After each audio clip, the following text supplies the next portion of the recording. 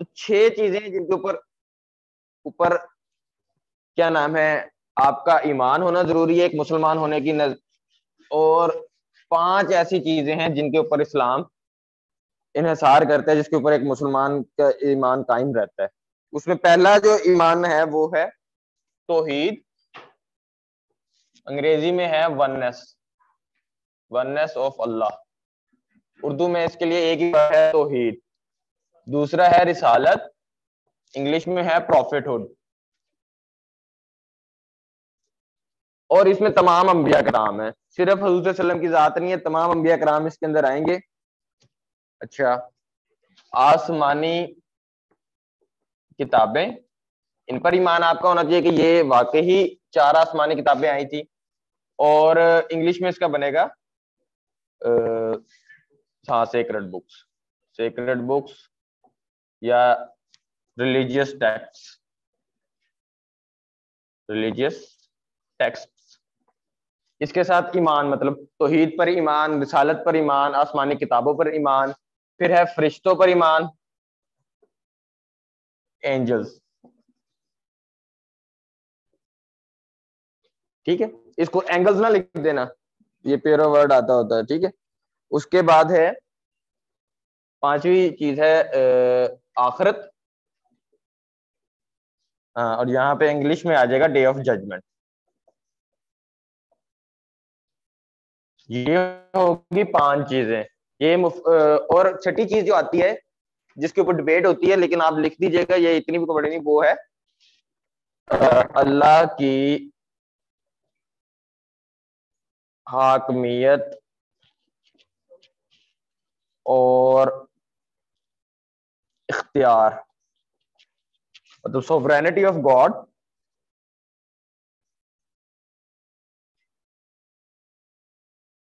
sovereignty of God Almighty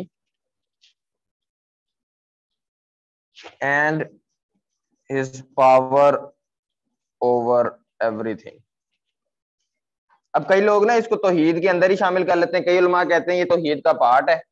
कुछ ने इसको अलग किया हुआ है। अब, इसकी मुख्तलिफ़ किस्म की इंटरप्रिटेशन है, हर जूरिस्ट ने अपने लिहाज से इंटरप्रेट किया लेकिन ये चीज़ें हर इस्लाम की हर चीज़ के अंदर कायम है कि अल्लाह एक है। अल्लाह ने नबी भेजे थे यहाँ पर, उनमें से हजूर सल्लम आखिरी नबी हैं। हदीस मुबारक है कि नबूवत इस तरह है जैसे एक बहुत खूबसूरत इमारत, लेकिन उस खूबसूरत इमारत में किसी एक चीज़ की कमी थी, एक ईंट की कमी थी। वो आखिरी ईंट मैं हूँ। तो यानी कि रिसालत है और उसमें सारे नबियों पर आपने मानना है। फिर आसमानी किताबें आसमानी किताबें ये जबूर, इंजील, तौरात और कुरान मजीद। तो रात किस पर नाजिल हुई है?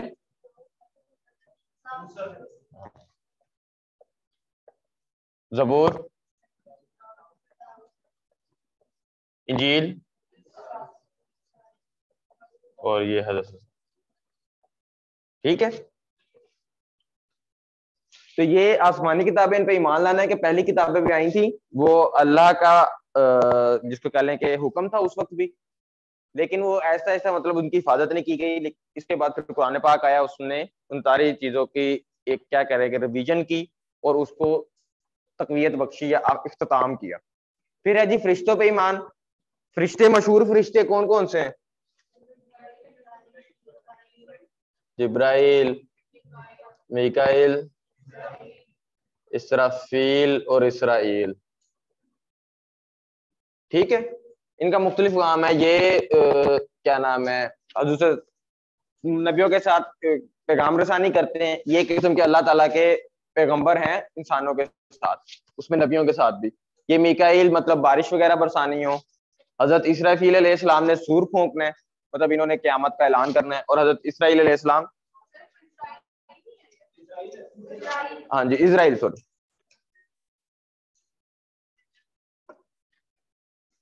ये अब इसकी ना वो है। प्रोनाउंसिएशन में डिफरेंस होता है। आप इसराइल पढ़ लें या इसराइल पढ़ लें। हाँ। ठीक है? बेसिकली सिर्फ़ प्रोनाउंसिएशन में डिफरेंस है, और कुछ नहीं। अच्छा। फिर है जी आखिरत यानी कि हम सबने मरना है।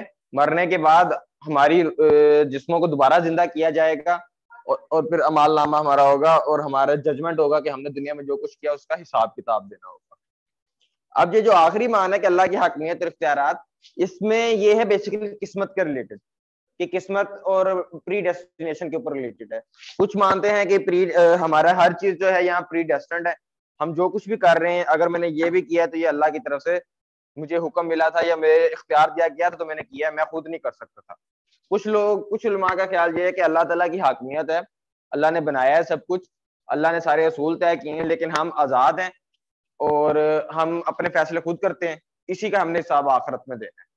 इसके मतलब एक हज़रत अली रजीतला की बड़ी मशहूर हदीस है कि हज़रत अली रजीतला से पूछा किसी ने कि किस्मत क्या है? कितना का अल्लाह को इख्तियार है तो उन्होंने कहा, अपनी एक टांग उठाओ। तो उस शख्स ने एक टांग उठा ली। उसने कहा अब दूसरी टांग उठाओ। वो कहता, मैं दूसरी टांग तो नहीं उठा सकता, मैं तो गिर जाऊँगा। तो उनका यही किस्मत है। यानी कि तुम्हारा इख्तियार है रास्ता चुनने का। उस रास्ते पे क्या रिज़ल्ट आएँगे, वो अब आपके ऊपर नहीं, वो अल्लाह के ऊपर है। मतलब आपका इख्तियार था कि आपने सी एस एस ज्वाइन किया, आपने तैयारी की।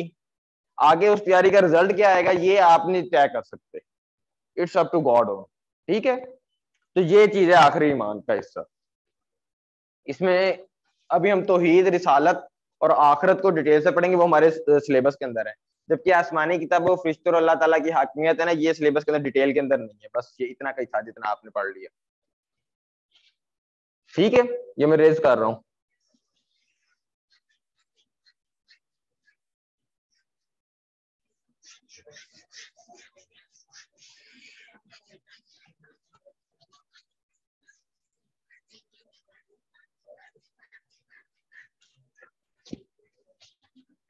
अच्छा इसके बाद है कि पिलर्स ऑफ़ इस्लाम है। पिलर्स ऑफ़ इस्लाम क्या है? कलमा, नमाज़, रोजा या सोम, जक़ात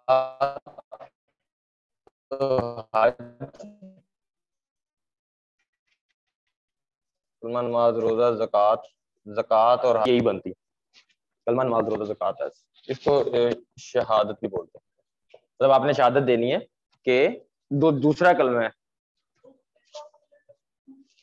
क्या कह रहे हैं? हाँ। इंग्लिश में भी यही होगा ना, ये प्रॉपर नाम इस्लाम के सतून। हाँ। ठीक है। इंग्लिश में भी यही लिखना है आपने। ये नहीं लिखना है इसको पिलग्रमेज नहीं लिखना, इसको चैरिटी नहीं लिखना। और इसको आप सलात लिख सकते हैं।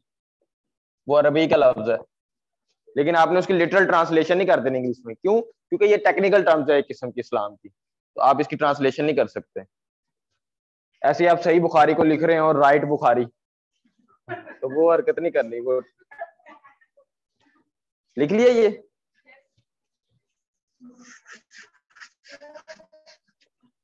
क्या नहीं लिखा अभी? हज अब। ये लिखने की ज़रूरत तो नहीं पड़नी चाहिए मुझे, आप मुसलमान ही है ना।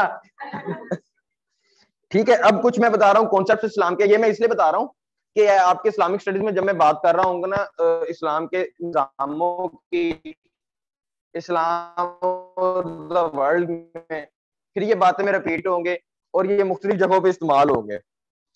अच्छा जी। इस्लाम के कुछ मशहूर कॉन्सेप्ट हैं पार्टी मैं भी इनकी इंग्लिश भी लिख, उर्दू भी लिख देता हूँ। Life hmm. अच्छा जी सिन ये कॉन्सेप्ट है। इसके साथ लिखे कॉन्सेप्ट ऑफ़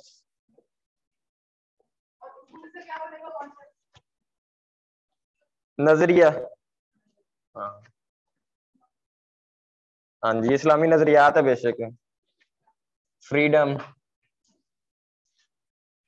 इक्वालिटी आप इनके नीचे एक एक लाइन बेशक छोड़ दें, दो दो लाइनें छोड़ते जाएँ, जो मैं एक्सप्लेन करूँगा ना। अभी ये किस्म की हेडिंग लिख हैं ये इक्वालिटी के अंडर आया सब हेड्स हैं ये आगे। ब्रदरहुड मोरालिटी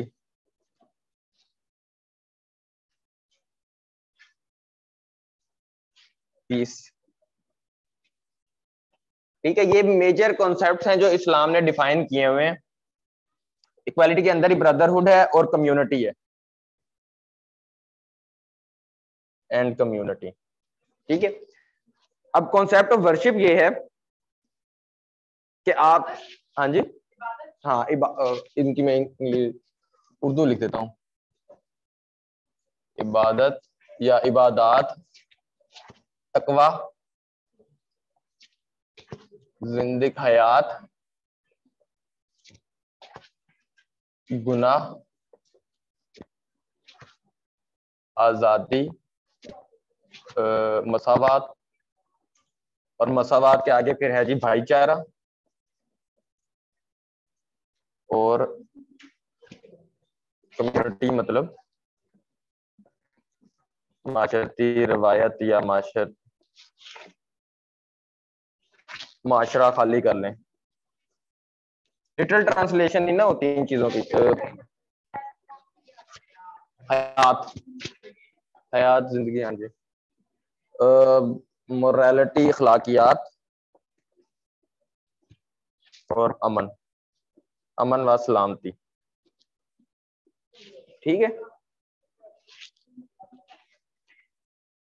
अच्छा इबादत के अंदर बेसिकली वही चीज़ें हैं कि अल्लाह ताला आपको कहते हैं कि आप इबादत करें। उन इबादत में क्या है कि आपने रोजा रखने हैं, आपने जक़ात देना है, आपने हज करना है अगर आपकी वो साहिब हैसियत हैं। जक़ात देना है अगर आप उन आपके पास जक़ात के निसाब के मुताबिक कोई चीज़ मौजूद है। ठीक है? इसी तरह हज कर रहे हैं अगर आप साहिब साथ हैं और दूसरा रोज़े रखने हैं रमज़ान की। ये इबादत है। ये इस्लाम का कॉन्सेप्ट है। इन इबादत का इंडिविजुअली भी कॉन्सेप्ट है कि ये क्यों है? तो जब ये हम इबादत पढ़ रहे होंगे ना, फिर मैं आपको बताऊँगा कि नमाज़ का मकसद क्या है, रोज़े का मकसद क्या है बेसिकली इसी तरह तकवा है। अब तकवा जो है ना, तकवा बेसिकली वो चीज़ है जिसपे इस्लाम डिटरमिन करता है कि एक शख्स की हैसियत क्या है। तुम में से कोई काला गोरे पर, अरबी, अजमी पर, इसी तरह गोरा, काले पर और अजमी, अरबी के ऊपर कोई हैसियत नहीं रख सकता सिवाय तकवे के। तो तकवा या पाइटी वो है, जिसके ऊपर हमारा जो कह लें कि सिस्टम हैरार की बेस करती है। जो सबसे ज़्यादा मुतकी होगा, अल्लाह के नज़दीक को ज़्यादा अच्छा होगा और हमारे माशरे में भी वो सबसे ज़्यादा ऊपर होगा।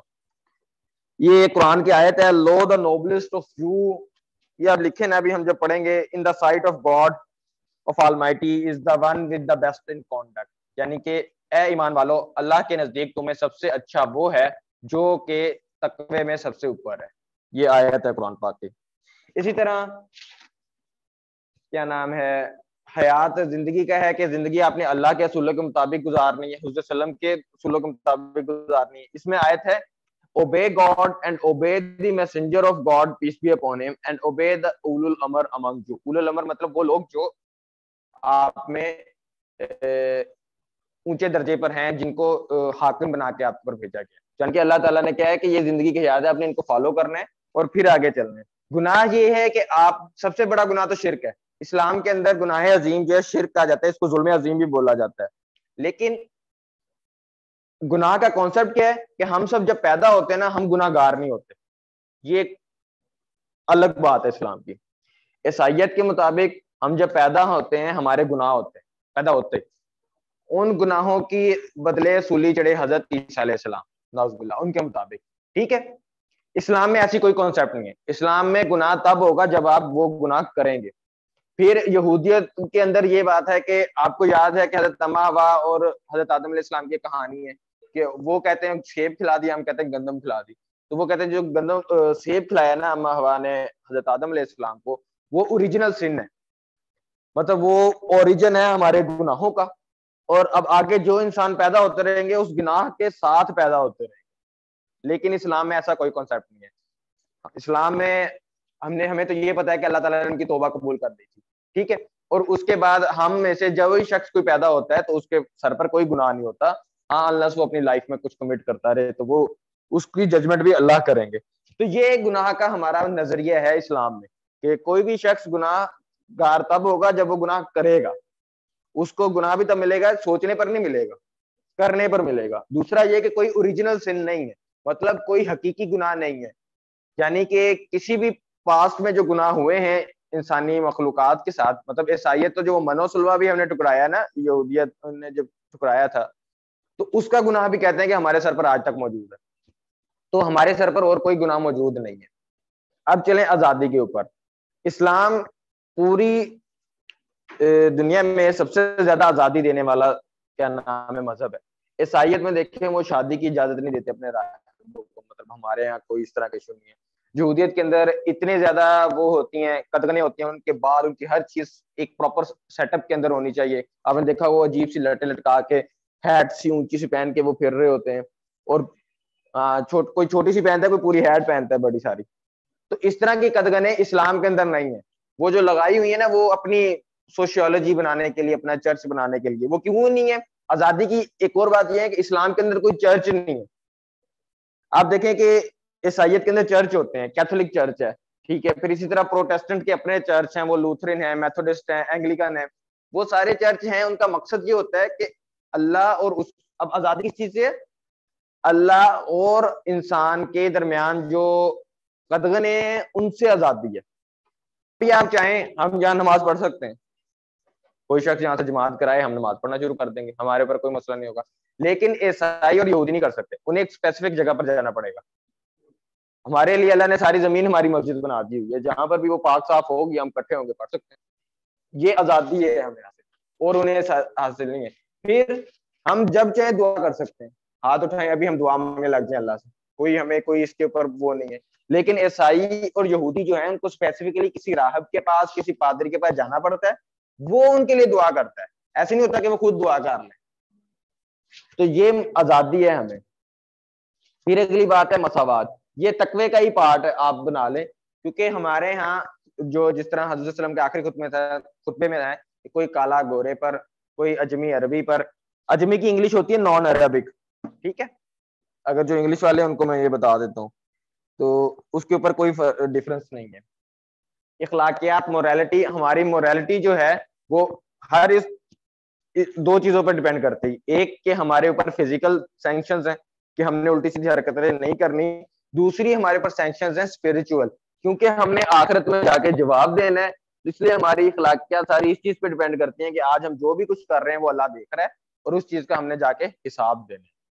ठीक है? लेकिन अब दूसरे मजहबों में क्या होता है? हिंदुओं के अंदर ये होता है कि उसका हिसाब उन, उन्होंने री इनकारनेशन में देना है यानी कि जब वो दोबारा पैदा होंगे तब देंगे वो हिसाब अगले जन्म में ठीक है? और या उनका हिसाब ईसाइयों के अंदर हिसाब तो ये है कि वो कहते हैं कि जी इखलाकियात अगर आपने कोई गुनाह किए हैं तो वो आप किसी पादरी को कहें कि मुझे माफ़ कर दे वो माफ़ कर देता है। हाँ इस्लाम के अंदर ये चीज़ नहीं है। अगर हकूकुल बात का कोई मसला पड़ा है तो वो आपको उस शख्स से जाके माफ़ी मांगनी पड़ेगी। हकूक अल्लाह का मसला पड़ा है तो आपको अल्लाह से तोबा करनी पड़ेगी। तो हमारे इखलाकियात इस चीज़ के ऊपर डिपेंड करते हैं। इसी तरह अमन और सलामती, Islam is a religion of peace इस्लाम में कभी किसी जंग को शुरू नहीं किया गया था, पहले चार खुलफा राशिदीन के दौर में भी और वसल्लम के दौर में भी।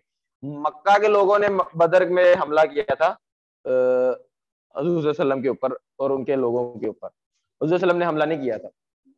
इसी तरह ओहद है, वो अटैक करने आ रहे थे। हजाब है खैबर में प्री एम्प्टिव अटैक हुआ था क्योंकि वो अटैक करने वाले थे यहूदी, हम पहले पहुँच गए। तो इस्लाम अमन और सलामती का दिन है। हमने बाकियों के साथ अमन और सलामती के साथ रहना है। ये कुछ कॉन्सेप्ट हैं इस्लाम के, कि इनके ऊपर पूरी एक आप ये कह सकते हैं ये फिलोसॉफिकल बैकग्राउंड है इस्लाम का। हाँ जी।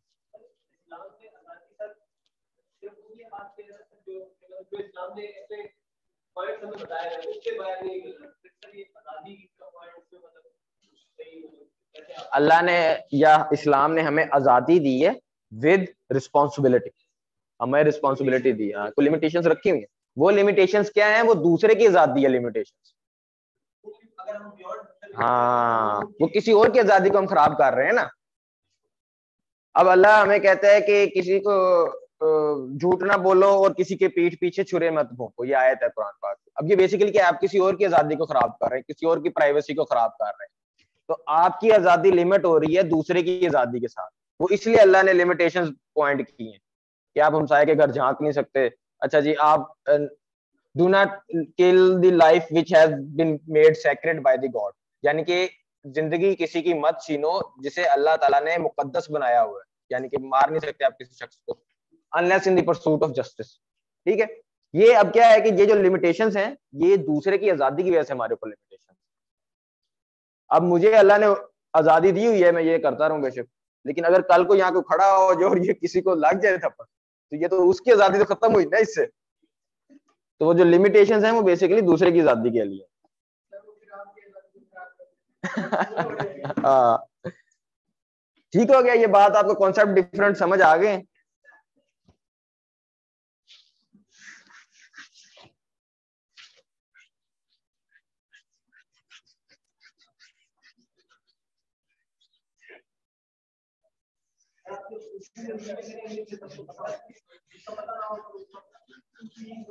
मुझे खुद इंग्लिश में आता है।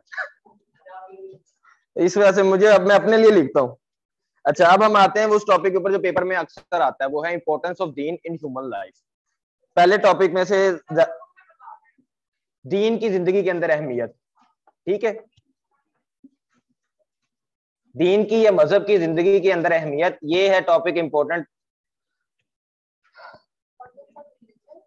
in human life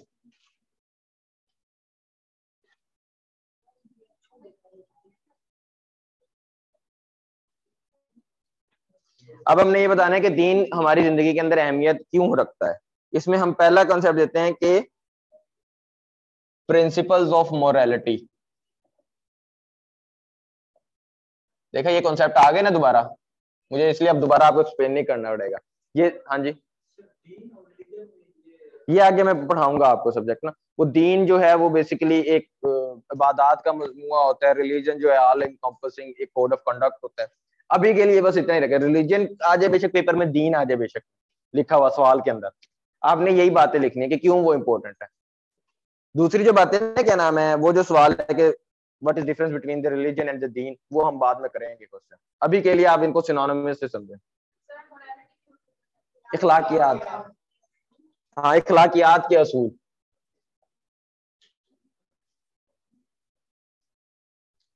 ठीक है?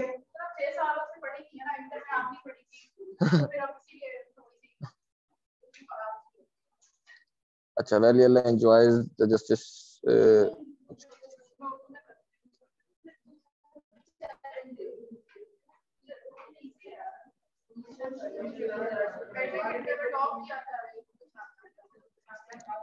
जी। फ्रीडम फ्रॉम फियर ये भी लिखते जाए, फिर इसके नीचे में आपको आयतें बताऊँगा जो आपने लिखनी होगी। खौफ से आज़ादी।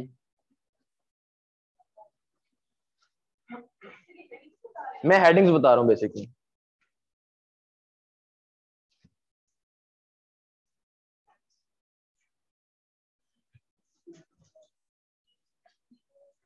इसके नीचे आपने जगह छोड़ लेनी है ताकि मैं जो बता रहा हूँ बातें फिर आप वो लिख लें।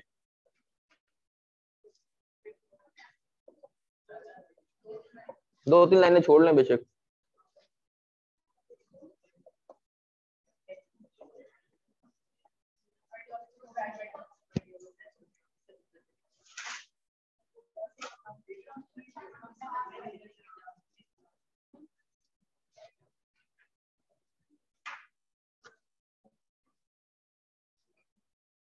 Provides philosophical explanation.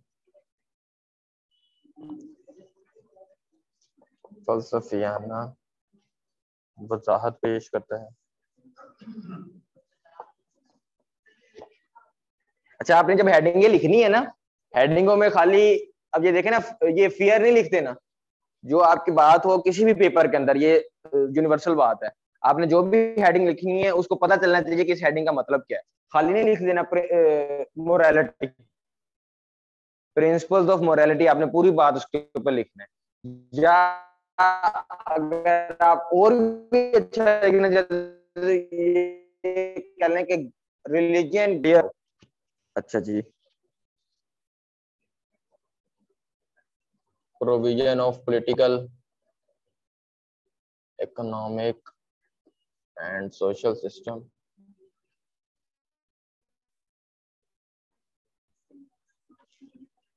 सियासी मुआशी वामाशक्ति निज़ाम देता है।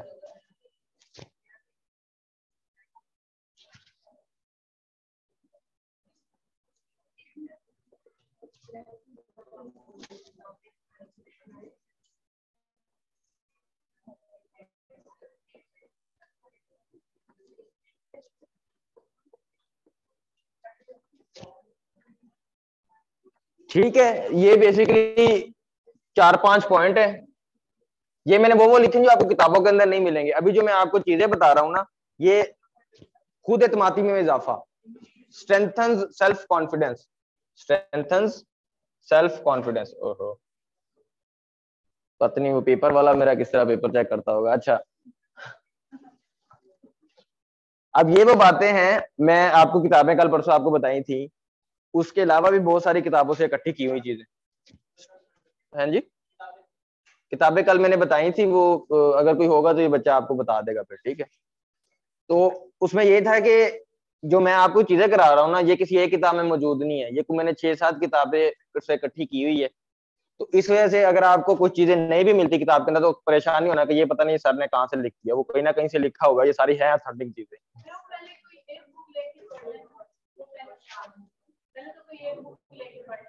हाँ जी, पढ़ ले बेचक ये आपके नोट्स भी तो बन रहे हैं, मैं आपको जो चीज़ें बता रहा हूँ, ये भी तो बातें आप कहीं लिख सकते हैं ना। आप अपनी किताब जो आपके पास हो, उसमें ऐड करते जाएँ, ये वाली हेडिंग पेंसिल से ऐड कर दें। कुछ उसमें हेडिंग्स ये मौजूद होंगी, कुछ नहीं मौजूद होंगी, कुछ एक्स्ट्रा मौजूद होंगी, जो मैं आपको इसलिए नहीं एक्सप्लेन कर रहा कि वो बच्चों वाली अब आपको पढ़ाने का वो लेवल नहीं है। अभी के लिए जो हाँ जो अभी हम टॉपिक कर रहे हैं ना आज, इसमें सिर्फ़ कोई भी की बुक चल जाएगी।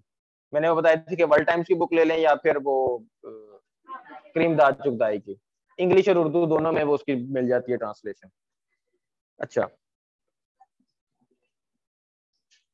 अच्छा इखलाकियात के असूलों में आप आयत देख सकते हैं। अल्लाह।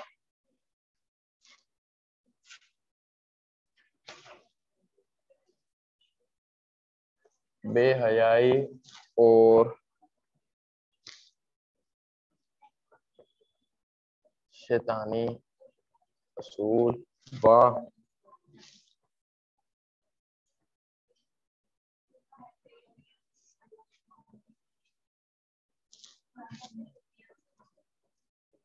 लामुतनाहियत।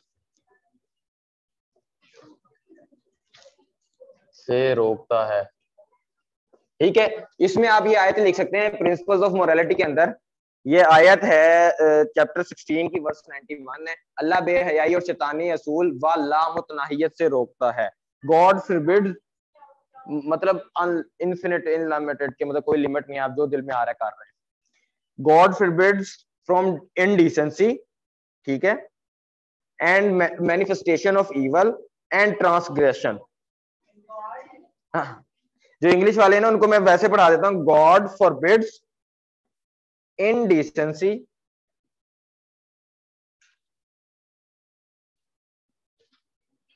decency indecency बेहयाई indecency and manifestation of evil and transgression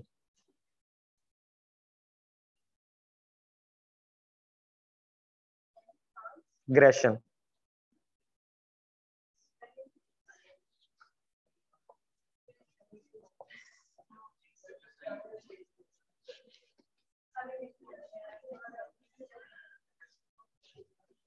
ठीक है फ्री उसके बाद हम आ जाते हैं फ्रीडम ऑफ़ फियर कि अल्लाह जब आप अल्लाह की बात कहना तो यकीन करते हैं सोवरेनिटी ऑफ़ गॉड पे बिलीव करते हैं वो अल्लाह हर शय पर कादिर है।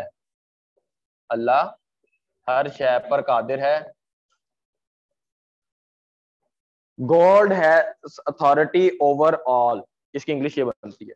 तो अल्लाह हर शय पर कादिर है। जब आपको पता है कि अल्लाह हर शय पर कादिर है तो फिर आपके अंदर खौफ नहीं होगा। आप किसी शख्स से डरेंगे नहीं, ये आपको तोहीद वाले में भी काम आएगा। ये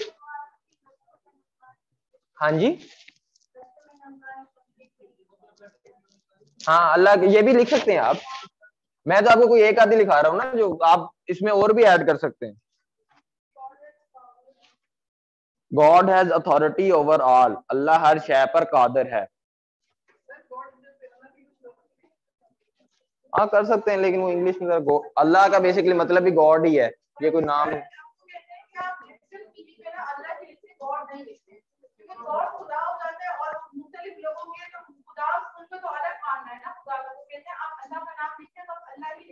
अल्लाह का कोई नाम नहीं है, पहली बात। हाँ, अल्लाह का कोई नाम नहीं है। The word Allah means God समझ आइए आपको? अरेबिक में गॉड को अल्लाह कहते हैं। अल्लाह का कोई नाम नहीं है। नाम किसी दुनियावी चीज़ का होता है। God transcends our humanity our existence अल्लाह हमारे मौजूदगी और हमारी इंसानियत से बहुत परे है। हम उसको समझ नहीं सकते। तो उसकी कोई नाम नहीं है। वो जो निन्यानवे नाम है, वो नाम नहीं वो निन्यानवे सिफात है। उससे ज़्यादा भी हैं। ये वो हैं जो हम कॉम्प्रीहेंड कर पाए जो हमें कुछ समझ है तो आप बेशक गॉड लिखे, इसमें कोई बड़ी बात मसला नहीं है। अच्छा जी अब हम कितने रहे आइडियोलॉजिकल वैक में तो ये है कि क्योंकि इंसान को जीने के लिए कोई नज़रिया चाहिए होता है कुछ असूल चाहिए होते हैं वो असूल कौन देता है? वो देता है मज़हब देता है। ये सब मज़हब की अहमियत के ऊपर लिख रहे हैं। आ, ये पता चले कुछ और ही लिखी जा रहे हो तो मज़हब की अहमियत। या ये सवाल इस तरह आता है या आता है कि दीन क्यों ज़रूरी है? ज़िंदगी में अहमियत इस तरह करके इन सब के यही आते हैं। नजरियाती खिला को पूरा करता है। इस्लाम इस्लाम या कोई भी मज़हब है, वो कुछ कोड ऑफ़ कंडक्ट देता है दुनिया को। वो कि इस तरह आपने जीना है, ये कब काम करने हैं, ये काम नहीं करने तो उस चीज़ को दीन आके फुलफिल करता है। साइंस में मोरालिटी नहीं ना होती, अब इखलाकियात तो नहीं होती। तो वो चीज़ आपको फिर ये मज़हब देता है। दूसरा है फिलोसॉफिकल एक्सप्लेनेशन हदीस आयत लिखने की ज़रूरत ना, आप मुख्तलिफ़ एग्जाम्पलें दे सकते हैं। जैसे हिंदू मत के अंदर गंगा के अंदर नहाते हैं लोग, उसमें फोकस किया जाता है बीच बचाओ के ऊपर कास्ट सिस्टम के ऊपर। इस्लाम है, उसमें फोकस किया जाता है इक्वालिटी के ऊपर। हर मज़हब के बुद्ध मत है, उसमें फोकस किया जाता है एक स्पार्टन लाइफ के ऊपर, एक स्पिरिचुअल लाइफ के ऊपर, जिसमें आप सब कुछ छोड़ देते हैं। तो ये नज़रिया जो है जीने का, वो दीन देता है। अभी हम दीन की अहमियत कर रहे हैं, इस्लाम के ऊपर नहीं बात कर रहे। अच्छा आगे चले के फलसफियाना वजाहत पेश करता है। अब फलसफी या फिलासफी का जो मजमून है ना, सब्जेक्ट है, वो फोकस करता है कि मेटाफिजिक्स की हमारी रियलिटी क्या है, हम जो कर रहे हैं वो क्या है। हाँ एग्जिस्टेंस के ऊपर, फिर नॉलेज के ऊपर कि नॉलेज है क्या बेसिकली और फिर उस नॉलेज को अप्लाई किस तरह करना है। हाँ जी। तो ये मज़हब हमें दे देता है। अब आपको मज़हब ने बताया हुआ ना कि आपकी एग्जिस्टेंस क्या है। जैसे हिंदुओं के मुताबिक हमारी एग्जिस्टेंस जो है ना हम एक इटर्नल बीइंग है ब्रह्मा हम उसके एक किस्म के वो हैं रिफ्लेक्शन टाइप के हैं हम एक एनर्जी हैं हमारी कोई एग्जिस्टेंस खुद नहीं है। इस्लाम में क्या एग्जिस्टेंस है कि हम अल्लाह की पैदा करता एक मखलूक है। उसमें कुछ सूफी कहते हैं कि जी हम अल्लाह की ए, साया है एक किस्म का। अल्लाह असल चीज़ है हम बेसिकली एक इल्यूजन है। कुछ कहते हैं नहीं हम गवाह हैं अल्लाह की उसका। तो ये फलसफियाना वजाहत पेश करता है कि आप कहाँ से आए और कहाँ गए और क्या करना है आप? क्या करना है? आपने लिखना के नजरियाती खिला को पूरा करता है। और हम कहाँ से आए हैं और हमने कहाँ जाना है? ये हमारी, हमें फलसफियाना वजाहत पेश करता है कि हमारी हयात में चल क्या रहा है। अच्छा जी provision of political economic and social system हर मज़हब का कोई ना कोई सियासी माशी व माशरती निज़ाम होता है। उसमें आप ये लिख सकते हैं कि ईसाइत का क्या सियासी व माशरती और माशी निज़ाम है? वहाँ औरतों को सेकंड ग्रेड सिटीजन समझा जाता है, ठीक है? और उधर सुपीरियरिटी दी जाती है राहिबों को और रिलीजियस क्लास को, ठीक है? क्योंकि वो गॉड के करीब है, बाकी दुनिया करीब नहीं है, ठीक है? और वहाँ पर कहा जाता है डिवाइन राइट टू रूल कि जो बादशाह है, उसको अल्लाह ने कोई एक राइट दिया है कि वो हम पर हुक्मरानी करे। इसी तरह हिंदू मत का सियासी माशी या माशर्ती क्या है? कि हिंदू मत के अंदर सूद जायज़ है। दूसरा ये, वहाँ पे स्ट्रिक्ट कास्ट सिस्टम है। हर किसी की कास्ट है और फिर उन्हें कहा जाता है, आपने स्पेशलाइज करना है उसी कास्ट के काम के अंदर। आप मूव नहीं कर सकते। मतलब अगर एक कस्ट्री है जो कि फौजी है, वो कहता है कि नहीं यार, मैंने ब्राह्मण बनना है, मैं पंडित बन जाऊँ तो वो ये नहीं है कि वो एक दिन उठा, जी, मैं ब्राह्मण बन नहीं। तो जहाँ पैदा हुआ वही करेगा। ये इसी चीज़ के ऊपर हिंदुओं का सिस्टम है। अच्छा बुद्ध मत है, वहाँ कोई सिस्टम ही नहीं है। वो कहते हैं, ये सारी चीज़ झूठ है। असल चीज़ हमने जो पाने का मकसद है, वो है इनलाइटनमेंट वो कैसे मिलेगी? वो दुनिया से अलग होकर मिलेगी। हाँ जी।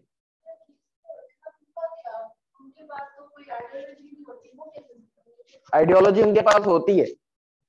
उनको आइडियोलॉजी देते हैं फिलोसफर्स बहुत सारे फिलोसफर्स एथियस्ट हैं, उनने मेटाफिजिक्स को भी सर्च किया है। दीन क्या है ना, वो तो दीन को मानते नहीं है। दीन, सवाल क्या है? दीन की अहमियत। वो तो दीन को मानते नहीं है।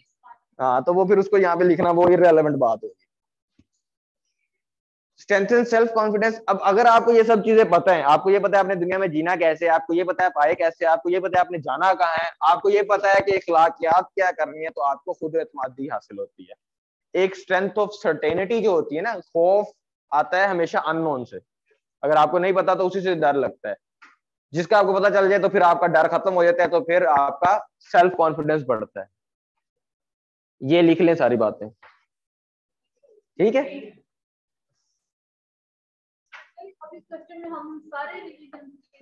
हाँ। क्योंकि सवाल क्या है? रिलीजन की अहमियत का, दीन की अहमियत का। तो फिर आपने सभी दीनों की आपने मिसालें देनी है। आपने बताना है कि सब दिनों में अखलाकियात के क्या असूल हैं? अच्छा आपने बताना है कि खौफ से कैसे आज़ादी देते हैं? नजरियाती खिला मुख्तलिफ़ दीन का मुख्तलिफ़ नज़रिया है। फोकस आपका ज़्यादा इस्लाम के ऊपर रहना चाहिए। हाँ जी। मज़हब तो बहुत सारे हैं। सैकड़ों की तादाद में होंगे। हाँ, हाँ। तीन सबसे बड़े मज़हब हैं जो चार सबसे बड़े मज़हब है आबादी के लिहाज से। उसमें सबसे पहले क्रिश्चियनिटी है फिर इस्लाम है फिर हिंदू मत है फिर बुद्ध मत है। ठीक है? ये काफ़ी है। तो आप उनके ज़रिए ये बातें सारी कर सकते हैं। ये समझ आ गया? किसी को ये समझ नहीं आई वो बात? अच्छा यहाँ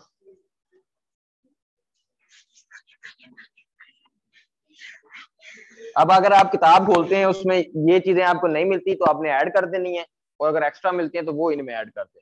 ठीक है? ये वो बातें जो मुझे लगा कि आप लोगों को समझ नहीं आएँगी अगर आप खुद पढ़ रहे हैं बाकी वहाँ छोटी मोटी बातें जो लिखी होंगी ना, वो आपने कर लेनी है खुद।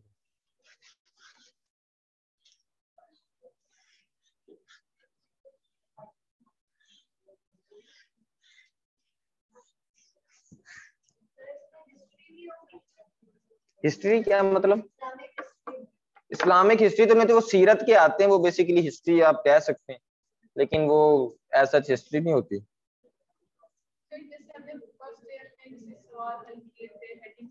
हाँ वैसे ही हल करना है। लॉन्ग क्वेश्चन ज़्यादा ज़्यादा हेडिंग्स देनी है, ज़्यादा ज़्यादा अपनी बात को मुदलिल करना है और शो करना है उसको कि आपको नॉलेज है इस्लाम का। ठीक है? अब हम आते हैं उस सवाल के ऊपर डिफरेंस बिटवीन दीन एंड रिलीजन दीन और मज़हब में फ़र्क।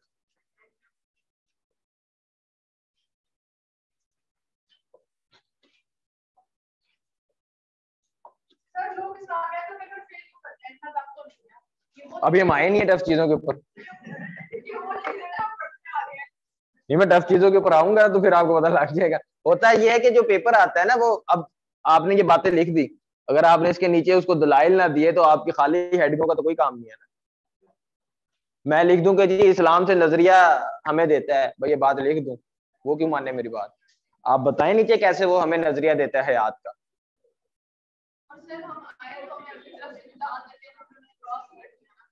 हाँ आयतें अपने तरफ़ से कौन डालता है इतने काफिर नहीं हुए अभी हम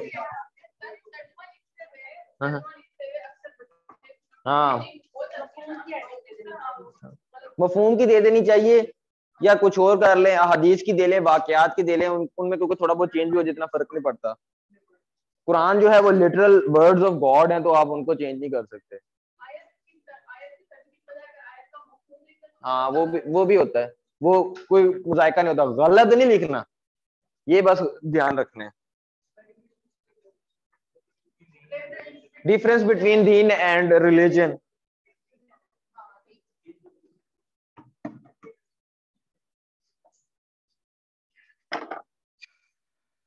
अच्छा मैं ये आपको थोड़ा सा ही बताऊँगा, क्योंकि ये आपको की बुक्स के अंदर ज़्यादा अच्छा मिल जाएगा। ऐसे हम इस टॉपिक आता है पेपर में, ये नहीं कि ये टॉपिक इंपॉर्टेंट नहीं है, लेकिन टॉपिक इतना मुश्किल नहीं है कि इसके ऊपर टाइम जाके। हाँ हाँ। तो उम्मीद ये कि अब जो पिछला मैंने टॉपिक कराया था, वो आ जाएगा। इस साल शायद आया हो, वो जिस तरह कह रहे हैं। अच्छा ये बात आपने याद रखनी है कि दीन जो है ना बेसिकली सेट ऑफ़ इबादात है। एक इबादात का मजमू है। आप ये लिख लें। इबादात का मजमू होता है। अकायद होते हैं उसके अंदर।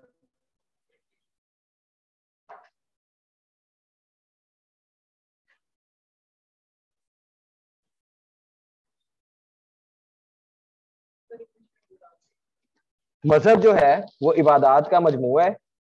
मज़हब। इबादात का मजमू है। नहीं नहीं मज़हब लिखें। सॉरी अगर मैं बोल दिया ना। मज़हब लिखें। मज़हब सिर्फ़ इबादात का मजमू है। हाँ, मज़हब मज़हब सिर्फ़ मज़हब। दीन नहीं लिखना आपने। अच्छा चलो गलती से मैंने बोल दिया होगा। मज़हब मैं कहना चाह रहा हूँ। ठीक है? मज़हब इबादत का मजमू है अकायद का मजमू है और बेसिकली स्क्रिप्चर है अल्लाह की बात खुदा की बातें होती हैं उसके अंदर। स्क्रिप्चर मतलब आसमानी किताब हाँ।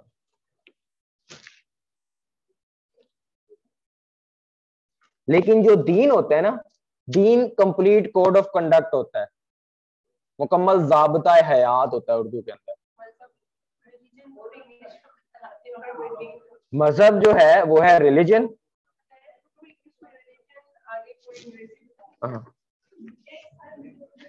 इस तरह में आपको मुझे लगता है ये यूज़ करना ही पड़ेगा। रिलीजन या मज़हब, ठीक है? एक साइड पे ये मैं लिख रहा हूँ। ये है दीन। और इंग्लिश में भी ये दीन ही है, क्योंकि दीन टेक्निकल टर्म है। ठीक है? हम्म? मैं अभी रिपीट कर रहा हूँ, ये सारा रिपीट लिख के रिपीट कर। अच्छा। फिर वो एक कोई नहीं कोई नहीं, मैं दोनों में लिख रहा हूँ। शोर ना बजाएँ आप। अच्छा रिलीजन क्या है? इधर वजह करें। रिलीजन है सेट ऑफ़ वर्शिप बिलीव्स और एंड स्क्रिप्चर जबकि उर्दू में आप लिखते हैं, मजमुआ है इबादात का, अकायद का और आसमानी किताबों पर मुश्तमिल होता है। ठीक है?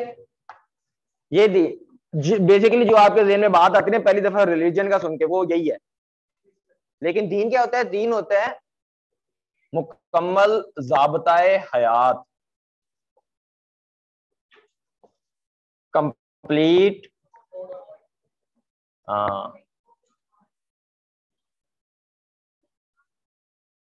ठीक है? अब समझ आई बात आपको? अब जो मज़हब होगा ना, उसमें सिर्फ़ हम बात करेंगे, वो जो हमने शुरू शुरू में आपको, मैंने आपको बताया थे इस्लाम के। अभी मैं उस टॉपिक पे जो मैंने पहली दफ़ा आपको कराया था इंट्रोडक्शन टू इस्लाम उसमें वो बातें जो कि इस्लाम के बिलीफ्स के हैं और इस्लाम के पिलर्स के हैं, वो पार्ट है रिलीजन का। जो पिलर ऑफ़ इस्लाम है और बिलीफ्स ऑफ़ इस्लाम है। इस्लाम के अकायद जो थे, सतून और अकायद, ठीक है? और जो दीन का पार्ट था ना, वो था कॉन्सेप्ट कॉन्सेप्ट नजरियात, वो सारा दीन का पार्ट था। ठीक है? ये बेसिकली बड़ा डिफरेंस है। बाकी छोटी मोटी हेडिंग आप बुक से देख लेंगे, वो इतनी कोई मुश्किल बात नहीं है इसके अंदर। यानी कि दीन जो है वो मुकम्मल हर चीज़ को कवर करेगा। सियासी मसाइल समाजी मसाइल माशरती मसाइल माशी मसाइल। रिलीजन के अंदर ये चीज़ें नहीं होती। रिलीजन फोकस करेगा। अच्छा जी आपने जी असर का टाइम हो गया असर पढ़ बात खत्म। तो दीन जो है वो आपकी हर चीज़ को फोकस करता है। अब जो मुस, मुसलमान जिस मज़हब को फॉलो करते हैं वो दीन भी है। वो मज़हब भी है वो दीन भी है। इस्लाम जो है हमें बाकी लाइफ को किस तरह जीना है, मस्जिद से बाहर हमने क्या करना है, उसका हमें सब बताता है। तो इसलिए इस्लाम जो है वो दीन है। मुकम्मल दीन है ना?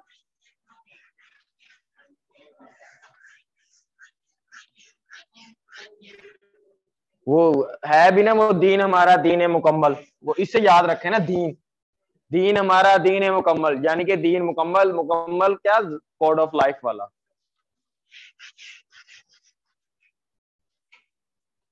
तो अब हम आते हैं कि इस्लाम है कि वो उसके क्या एस्पेक्ट हैं जो उसको दीन बनाते हैं? ठीक है? इसमें आपने लिखना है। इस सवाल में पहले आपने ये फ़र्क बताना है उसको, फिर आपको की बुक्स में कुछ वो हेडिंग्स दी होंगी पाँच छह, वो लिखनी है कि अच्छा जी रिलीजन में ये आबादात होती हैं, ये स्क्रिप्चर होता है, ये चीज़ें होती हैं। दीन के अंदर सियासी मसाइल होते हैं, समाजी मसाइल होते हैं, ये सारा कुछ लिखने के बाद फिर आपने बताना है उसे कि Islam is a complete code of life और ये क्यों है? इसकी पहली ये है कि ये एक यूनिवर्सल रिलीजन है।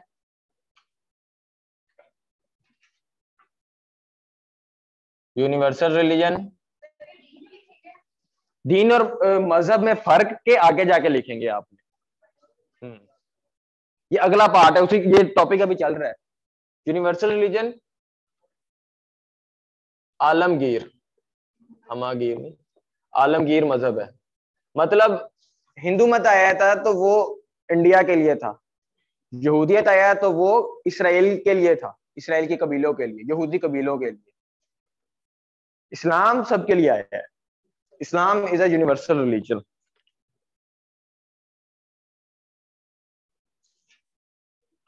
अल्लाह कहता है कि Islam is a message for all world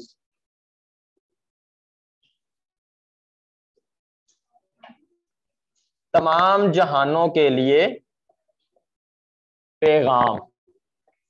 ये अल्लाह ताला कुरान पाक में कहता है, ये आयत है। मैसेज फॉर ऑल वर्ल्ड तमाम जहानों के लिए जो पैगाम है, वो इस्लाम है। नहीं नहीं, ये इसी की एक्सप्लेनेशन है बेसिकली हाँ आलमगीर मज़हब में।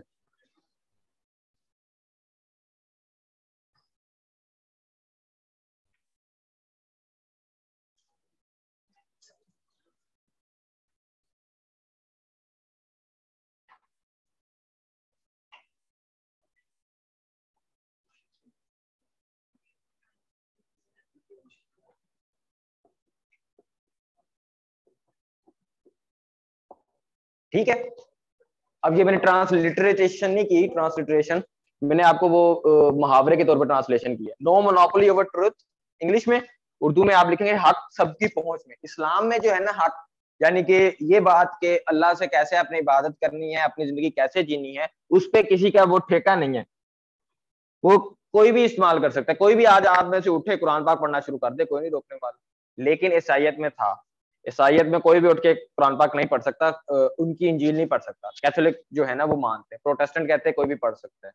इसी तरह यहूदियत के अंदर भी कोई भी उठ के नहीं पढ़ता। उनमें से एक खास बंदा होता है और इसी तरह का डाइस होता है, ये कॉन्सिडेंसली इसी तरह के डाइस के ऊपर पढ़ रहे होते हैं। हम भी इसी डाइस के ऊपर पढ़ रहे हैं इस्लामियात इसी तरह के डाइस होते हैं, उसमें उनका जो राहिब होता है, खड़ा होकर वो तो रात पढ़ता है और कोई नहीं पढ़ सकता उसको। ठीक है? तो इस्लाम में ये बात नहीं है। इस्लाम में हक सबकी पहुँच में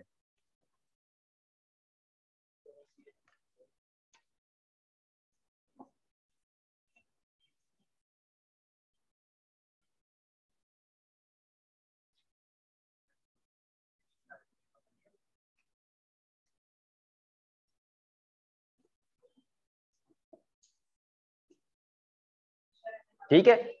इस्लाम जो है ना, मुकम्मल हो गया और आज मैंने तुम्हारे लिए दीन पसंद कर लिया, अब हमेशा के लिए यही दीन है। हमेशा रहने वाला दीन है ये। नहीं नहीं नहीं, ये तीनों लहजा हेडिंग्स हैं। वन टू थ्री बेसिकली असल हेडिंग है कि इस्लाम एक मुकम्मल, एक मज़हब, एक दीन है। उसकी आगे ये हेडिंग्स है। हाँ वो है ना, वो आपने कर लेना है, वो कर लिया। लेकिन अब आपने खाली तो नहीं उसे छोड़ के उसके बाद ये बातें भी लिखनी है उसको। जब सवाल आए कि दीन और मज़हब में क्या फ़र्क है, उसमें फिर आपने एक पैराग्राफ में इनको बगैर हेडिंग बनाए लिखते हैं। अगर सवाल आ रहा है कि इस्लाम एक मुकम्मल दीन है, वो बातें तो आपने लिख ली कि सियासी समाज जी, ये बातें आपको पता होनी चाहिए। वो नहीं मैं आपको एक्सप्लेन कर रहा, क्योंकि मैंने आपको पहले एक्सप्लेन कर दी है।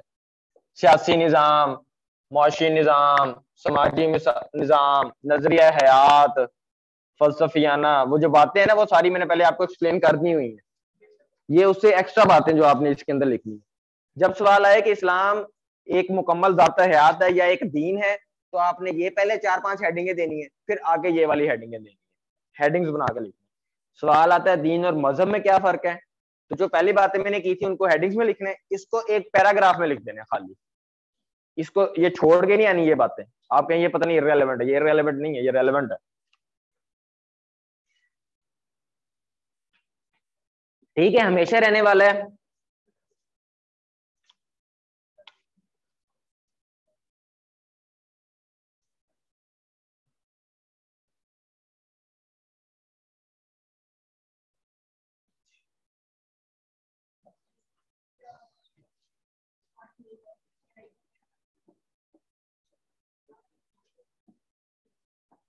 ठीक है?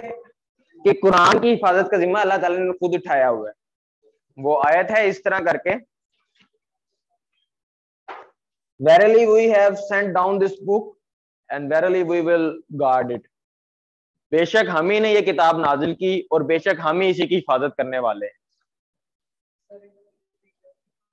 बेशक हम ही ने ये किताब नाजिल की। Verily, this god, this book has been sent by us verily, we are its guardian.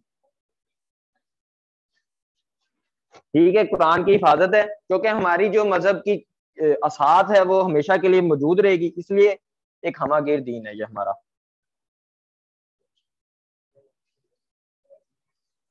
आगे बात आपको समझ के, कि इस्लाम एक दीन क्यों है? मतलब इस्लाम एक मुकम्मल जबता हयात क्यों है?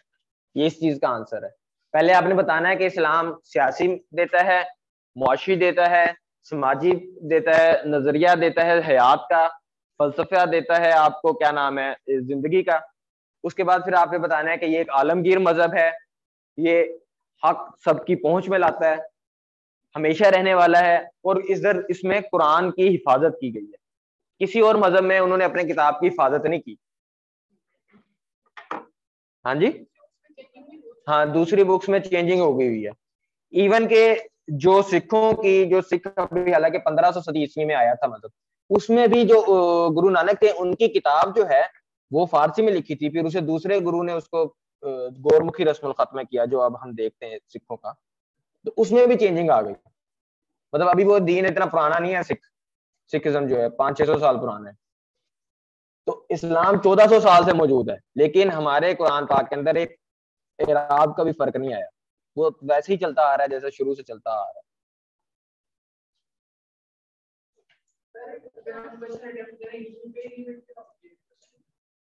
पेज लिमिट, ये डिपेंड करता है कि आप किस एक पेज पे कितने वर्ड लिखते हैं। मैं फ़र्ज़ करें, मैं लिखता हूँ एक पेज के ऊपर 160 वर्ड्स, या एक लाइन के अंदर लिखता हूँ मैं नाइन से टेन या एट एट नाइन टेन मेरे वर्ड्स होते हैं। अगर इतने वर्ड लिखने वाला है ना तो उसकी उम्मीद होती है कि वो आठ से दस तक तो जाएगा। मिनिमम आठ तक तो जाएगा ना। बीस नंबर का सवाल है। एट पेजेस वर्क मत सफे नहीं वर्क हाँ फोर पेजेस एट साइड्स की बात कर रहा हूँ। ठीक है? और अगर आप खुला खुला लिखते हैं, फिर इसको दस पे ले जाएँ। ये मैं मिनिमम बता रहा हूँ। मैक्सिमम जितना मर्ज़ी करते जाए।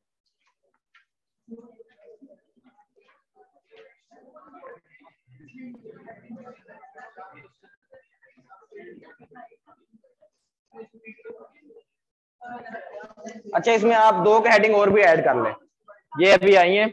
इधर ये एक मिनट, ये क्वेश्चन में और ऐड कर लें हेडिंग्स एक तो है।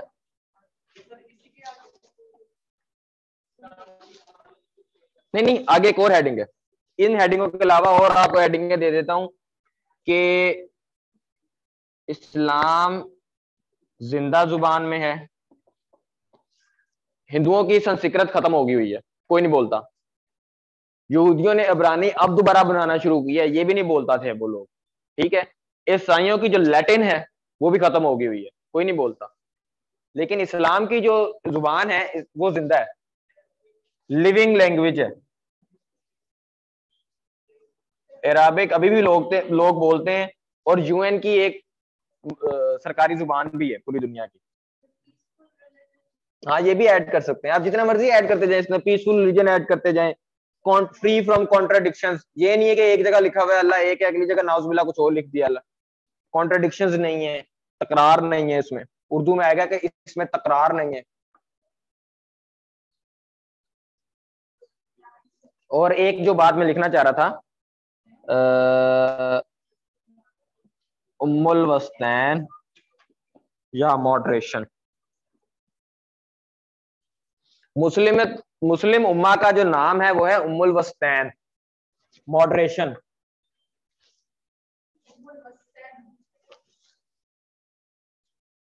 वस्तैन।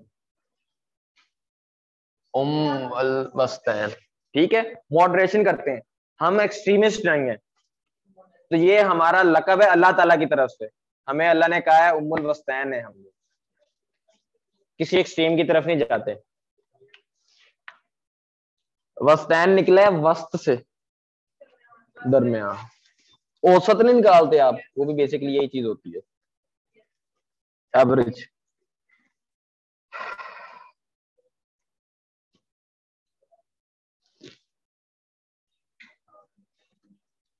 ये नीचे उनसे कहिए कि ये पानी तो कोई ला के दे।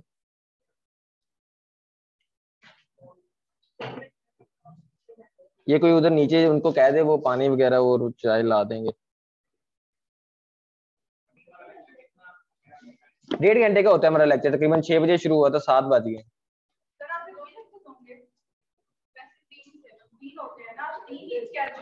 अच्छा मुझे स्केड्यूल का नहीं पता। मुझे हम्म।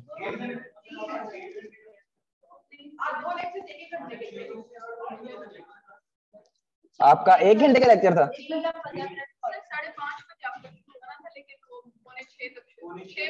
छह बजे में आया था, क्योंकि मुझे पहले था कि साढ़े छह बजे शुरू होना।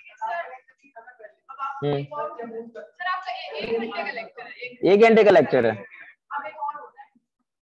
अच्छा चले फिर ये देख लेते हैं। अगर एक घंटे का लेक्चर है तो फिर ठीक है।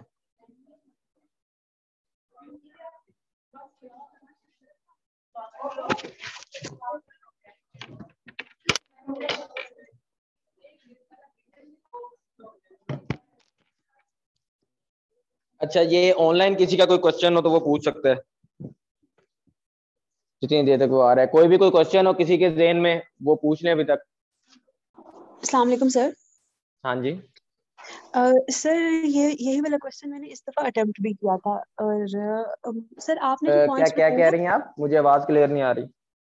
सर अब आवाज़ आ रही है? हाँ जी। सर ये जो दीन और मज़हब का फ़र्क है ये वाला क्वेश्चन इस दफ़ा आया था और ये मैंने अटेम्प्ट भी किया था। लेकिन आपने जो पॉइंट्स दिए हैं those are very rare points जो कि हमें आम किताबों में मिलते हैं जैसे आपने कहा कि इस्लाम जो है वो ऐसा दीन है जो ज़िंदा ज़ुबान में है इसमें नहीं होता है। These are very rare points तो सर इस तरह के पॉइंट्स हमें कौन से बुक्स में मिल सकते हैं क्योंकि ना तो ये आम जो हमें किताबें मिलती हैं वर्ल्ड टाइम्स में मिलती हैं। ना ही हमें इस्लामी नज़रिया हयात में मिले मुझे। और ऐसा पॉइंट ऑफ़ व्यू लेने के लिए सर हमें क्या कंसल्ट करना चाहिए? क्योंकि अब तो हम यूट्यूब वीडियोस भी सुनते हैं। हम्म, हम्म। उसमें भी इस एंगल से अच्छा मुझे समझ आ गया क्वेश्चन मैं आपको बताता हूँ, मैं बच्चों को रिपीट कर दूँ। अच्छा वो क्वेश्चन ये पूछ रहे हैं कि ये जो पॉइंट्स लिखे हुए हैं ना, ये किसी किताब में नहीं मिलते। वो सही कह रही हैं, ये किसी किताबों में नहीं मिलते, ये बड़े रेयर पॉइंट्स है। ये जो मैं आपको बातें बता रहा हूँ ना, ये बहुत ज़्यादा मेहनत लगी हुई है इसके ऊपर। हाँ हाँ अब मुझे खुद याद नहीं रहा, मैं खुद चौके मुझे शौक है रीडिंग का, ठीक है? तो मैं पढ़ता रहता था इससे पहले भी। अभी बेसिकली ये जो लुबे लबाब है, ये है सीरत नबी वसल्लम का, खिलाफत मलूकियत का। अच्छा। हमीदुल्ला साहब की किताब है। और मौलाना वहीदुद्दीन की किताब जो इंट्रोडक्शन टू इस्लाम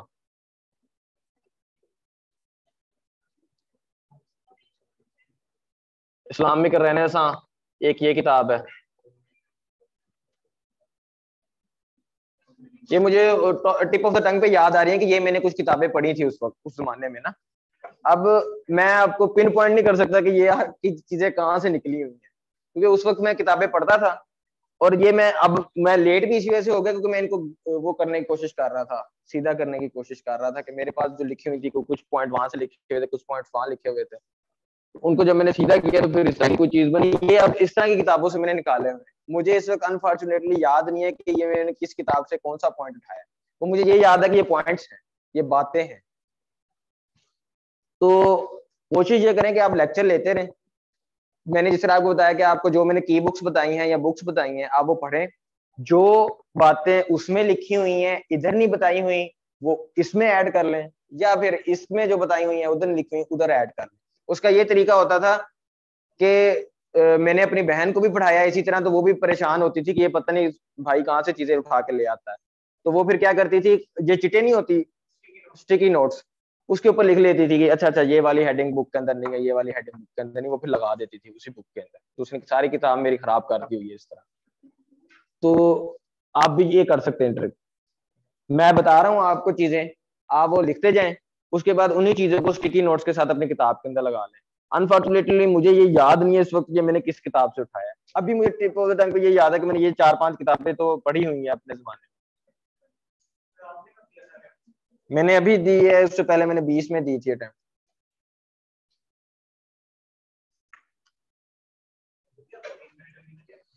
नहीं, मेरा पीएमएस हो गया था सीएसएस नहीं हुआ था अनफॉर्चुनेटली तो बाईस में भी दिया देखते हम्म। अगर आप ये पॉइंट्स लिखाए हैं फिर हम तो पास नहीं होते। नहीं आप सारे हो जाएँगे पास ये बात ये नहीं होती। अल्हम्दुलिल्लाह मेरा टॉप था सीएसएस 2020 के अंदर इस्लामिक अंदर मेरे 68 मार्क्स थे उस वक्त। पीएमएस के अंदर मेरे 80 मार्क्स थे। तो वो इसी वजह से थे। बस बुरी किस्मत कह लें।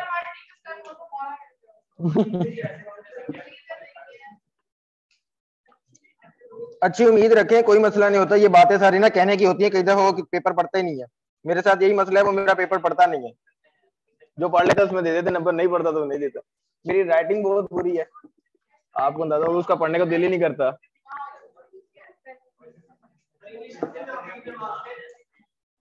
किसमें? यार, ये सीएसएस के अंदर तो मेरे थे 65 मार्क्स पीएमएस के अंदर सॉरी सीएसएस में मेरा ऐसे ही फेल हुआ था 27 28 नहीं हुई थी। मैंने वो गलती से ऑप्शनल्स की सही तैयारी नहीं की थी उस वक्त तो वो उसमें नंबर कम आए थे।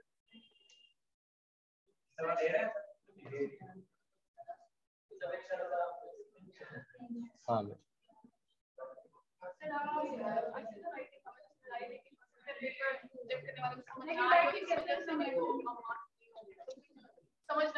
होता है वो इसलिए क्योंकि मुझे ये हम्म।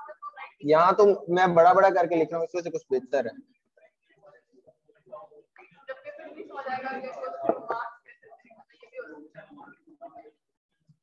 हाँ ये कोई एक किताब है history of God Karen Armstrong की वो भी थी इसके अंदर।